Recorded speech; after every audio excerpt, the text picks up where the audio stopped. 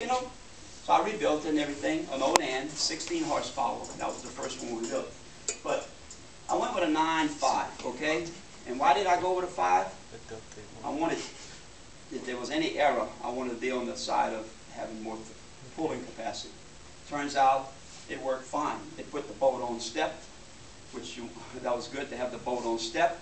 And when we tried it out, I brought Seymour duck hunting. Brought, he brought his dog with him. He had a, a chocolate lab. And we went and, uh, and it worked fine. But it wasn't exactly what I liked. It was too heavy. So the next year, I financed another one, and I said, we're going to call this one the Ultra Light Gator Tail. I said, I want you to bring your weight down. This sucker here's 200 pounds. It's like me. You need to go on a diet. Well, we brought it down to 110 pounds, from the 200 to 110, but we had to go to a smaller engine, though. But we went to an, a Honda engine.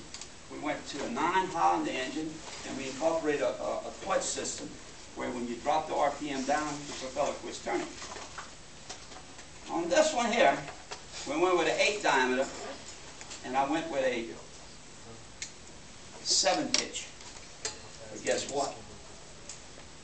The, the, the reduction gearbox from the engine to, the- to the shaft was like 2 to 1. She turns at 4,000, but the shaft's only turning at 2,000. Guess what? She won't put that same boat on step. And you get out there and boy, it's, oh, it can pull. But she can't quite get on step.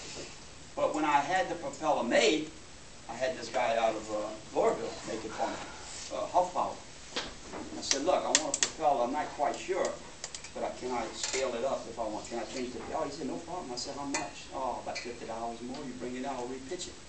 So I can repitch that propeller, that nine, uh, up to, up to nine nine, so that's what I need to do. I never used it since, but I need to take it now and repitch it. Pitch it to nine nine, I feel nine nine, she's gonna put it on step. Now, we had a guy here that graduated, that works at Go Devil.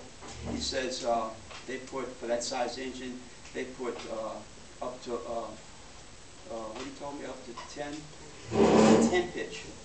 You know what the pitch is on a propeller?